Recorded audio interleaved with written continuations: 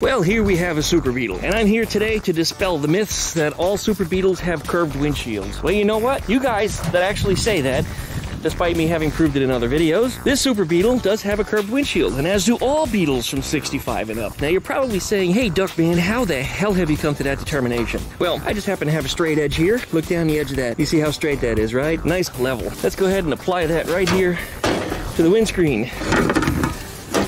And look at that. It rocks. Whoa, Duckman. It's got a curved windshield too. So technically you're right. All Beetles from 65 and up, including Super Beetles, all have curved windshields. And it's not just including Super Beetles alone, it's not just including the standard Beetles, it's all Beetles 65 and up. That's when they put the big windshields in that you look like this.